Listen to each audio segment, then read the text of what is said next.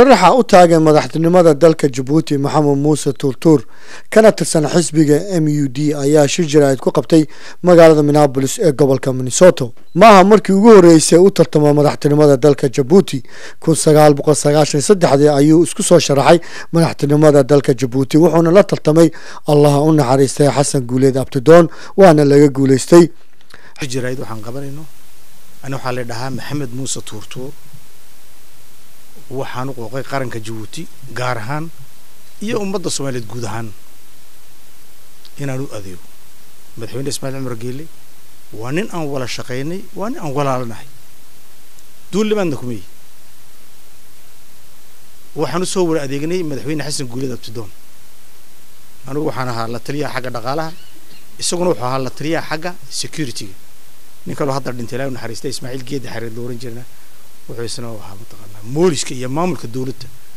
iyo musharaxnimadaydu waxay ka turjumaysaa oy tahay oo keliya inaan u adeego qaranka jabuuti iyo ummadda soomaaliyeed guud ahaanteed. Marka waxaan igala hadli doonaa jabuuti xag dhaqaale xag siyaasadeed xag bulsho xag diblomaasi aan ka faa'iidaysto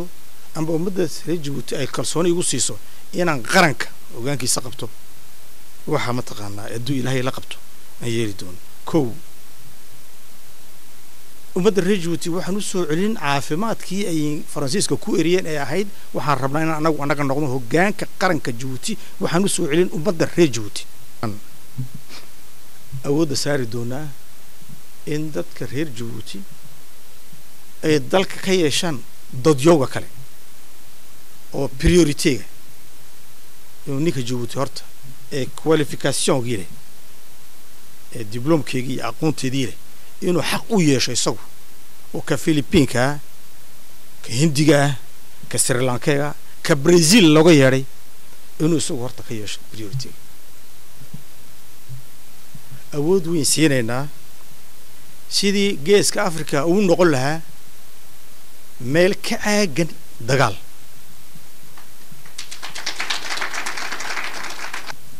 waxaan aaminsannahay in soomaaliya ay tahay mid